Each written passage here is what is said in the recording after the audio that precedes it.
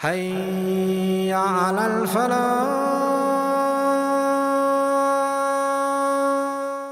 குமுல் அமானி உங்களை வீணான யூகங்கள் வீணான கற்பனைகள் வீணான எண்ணங்கள் உங்களை ஏமாற்றி விட்டன உங்களை ஏமாற்றி விட்டன ஹத்தா ஜா அம்ருல்லா அல்லாஹ்வுடைய கட்டளை வருகின்ற வரைக்கும் அப்படியே ஏமாற்றி கொண்டு போய்விட்டன வகர்ரக்கும் பில்லாஹில் கரூர் ஷைத்தான் உங்களை அல்லாஹை விட்டும் திசை திருப்பி விட்டான் என்று அல்லாஹ் தாலா சொல்றான்.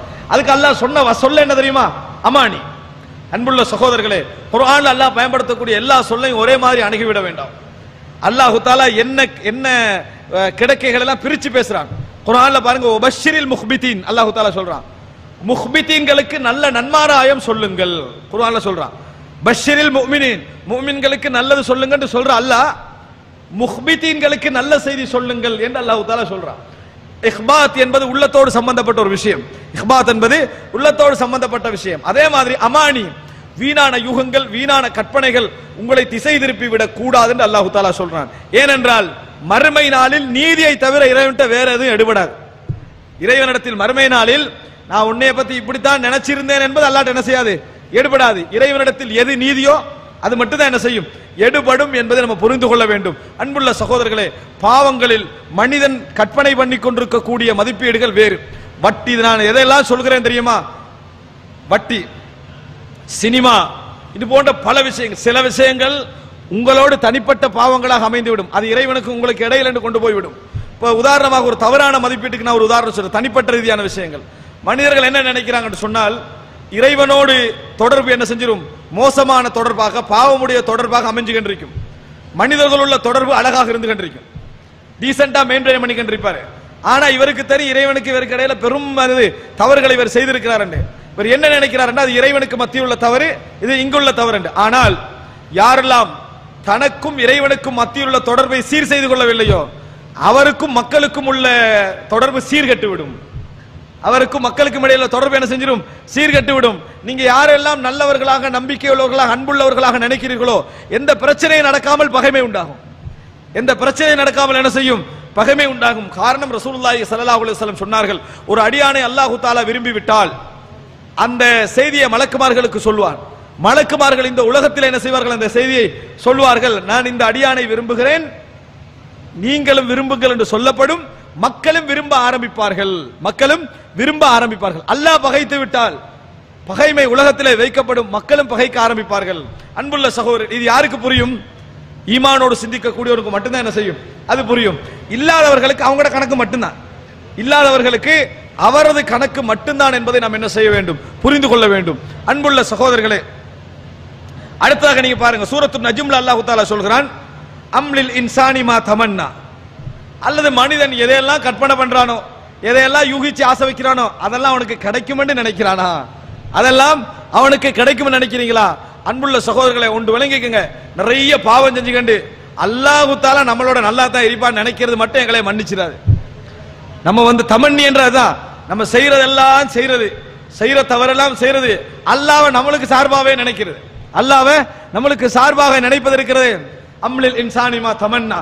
மனிதனுக்கு அவன் கற்பனை பண்ணக்கூடிய யூகிக்கக்கூடிய எல்லாம் கிடைக்கும் என்று அவன் எண்ணிக்கொண்டானா? ஒரு நாளும் கிடையாது. ஒரு நாளும் இறைவன் என்ன செய்வான்? நீதியாகவே நிற்பான். அஃபனஜ் அலுல் முஸ்லிமீன கல் முஜ்ரிமீன்.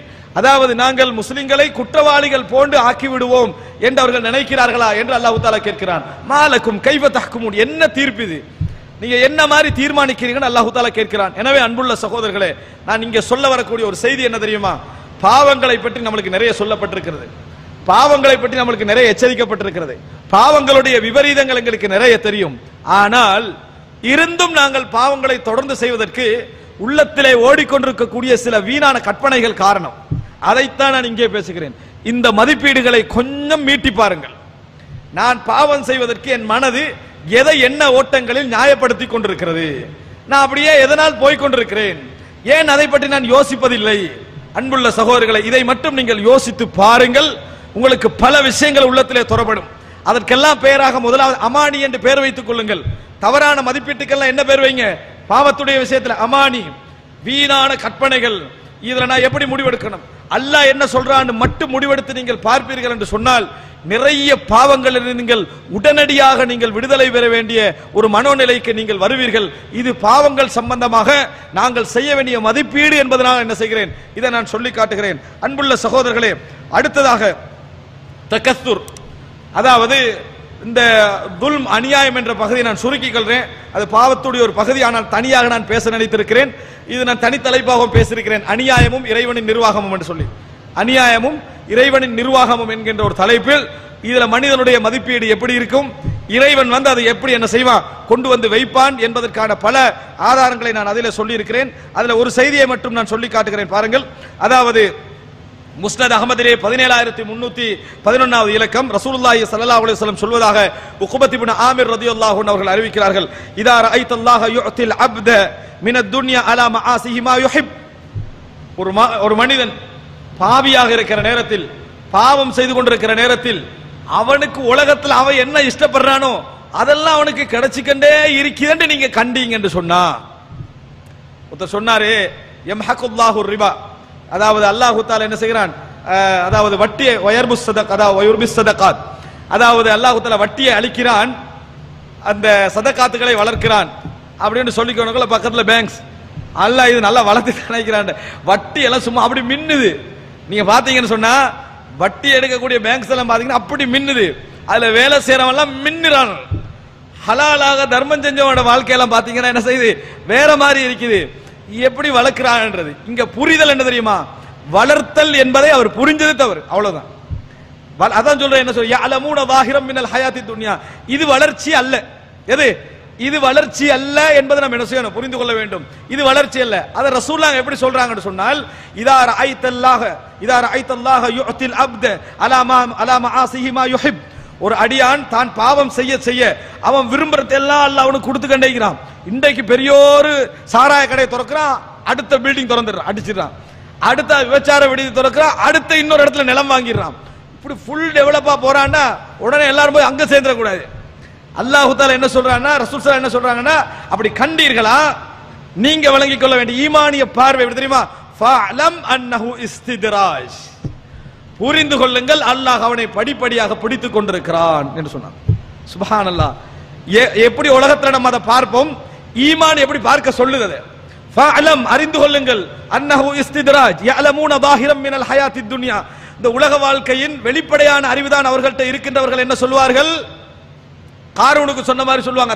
அல்லாஹ் சொல்றா காரூனுக்கு வந்து என்னது? அதாவது எப்படி இருக்குதே அப்படின்னு எல்லாம் சொன்னவர்கள் அழிஞ்சவர் என்ன சொன்னாங்க தெரியுமா? நம்மளுக்கு இந்த உலகமே என்னது? நல்லா தந்திருக்கிறதே போதுமானது அல்லாஹ் தமன்னவ் என்றா குருவாங்க தமன்னவ். அப்படி ஆசைப்பட்டார்களே அப்படி எண்ணம் வைத்தார்களே அல்லாஹு தாலா சொல்றான். அதே மாதிரி இந்த இடத்துல பாருங்க ரசூல்லாங்க சொல்றாங்க ஒரு அடியானுக்கு அல்லாஹ் அவன் பாவம் செய்ய செய்ய அவன் விரும்புறதை எல்லாம் கொடுக்கிறான் ஃபஅலம் அன்னஹு அல்லாஹ் அவனை படிப்படியாக பிடித்துக் கொண்டிருக்கிறான். சனஸ்ததிருஜுகும் மின் ஹை லா அலமும் அவர்கள் அறியாத வண்ணம் நாம் அவர்களை படிப்படியாக பிரிப்போம் என்று அல்லாஹ் தாலா சொல்றான். சுபஹானல்லாஹ் அன்புள்ள சகோதரர்களே ஈமானோடு இருக்கிற நேரத்தில் நிறைய நிதானம் தேவை. நிறைய நிதானம் தேவை. வெளிப்படையாக நடக்கக்கூடிய எந்த மாற்றங்களிலும் உடனுக்குட முடிவெடுத்துடக்கூடாது. அமைதியாக போகணும். ஏனென்று தெரியுமா? முடிவில் தான் என்ன செய்யும்? எல்லாமே விளங்கும் என்பதை நாம் என்ன செய்யணும்? புரிந்து கொள்ள வேண்டும். நாம் இப்னு சொல்கிறார் அழகாக லைசத்தில் ஐப்ரா பினக்ஸில் விதாயாத் இன்னமல் ஐப்ரா பி கமாலின் நிஹாயாத். தொடக்கங்களுடைய குறைபாடல்ல நம்ம கவனிக்க வேண்டிய விஷயம் முடிவுகளுடைய பூரணத்துவம். முடிவுகளுடைய பூரணத்துவம் தான் நாங்கள் கவனிக்க வேண்டிய விஷயம் என்று சொல்கிறார்கள். ஒரு அழகான ஒரு ஈமானிய வார்த்தை அது. அன்புள்ள சகோதரர்களே யோசித்து பாருங்கள் ஃபாலம் அன்ன ஹுஸ்தித்ராஜ் என்ற ரசூலுல்லாஹி சல்லா அலுவலம் சொல்லிவிட்டு சூரத்துல் அண்ணாமிலே வரக்கூடிய 44வது வசனத்தை நபியர்கள் ஓதி காட்டினார்கள் என்ற செய்தியை நாம் என்ன செய்கிறோம்? பார்க்கிறோம்.